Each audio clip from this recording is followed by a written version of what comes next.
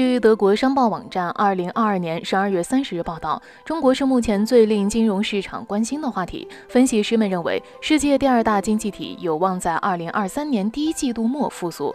报道说，中国放宽防疫限制，这最初引发了股市反弹。香港恒生指数已经从十月底的年内低点上涨了百分之三十五。追踪上海和深圳证券交易所发展的沪深三百指数，同期上涨了百分之十一。美国银行对对二百八十一名基金经理的最新调查结果显示，约四分之三的受访者表示，他们预计中国调整防疫措施之后将实现更强劲的经济增长。因此，不少投资策略师看好中国股市。汇丰银行预测，中国大陆股市将上涨百分之十九。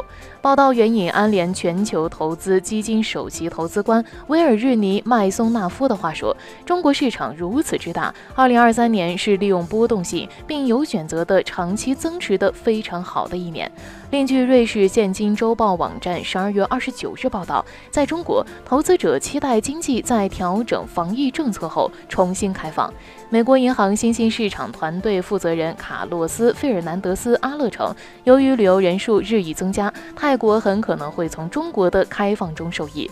报道指出，费尔南德斯·阿勒说，中国经济的开放不仅会让周边地区，而且也会让世界其他地区感受到。许多拉美国家向中国出口大量商品，例如巴西是中国重要的原材料供应国。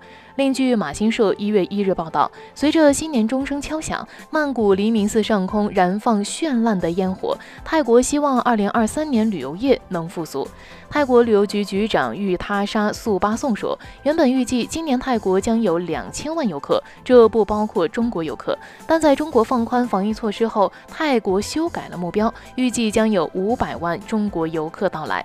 报道说，玉他沙指出，预计二零二三年第一季度每月会有五万至十万中国游客，这一数字可能在下半年逐渐增加两到三倍。他还保证，所有游客都将受到平等对待。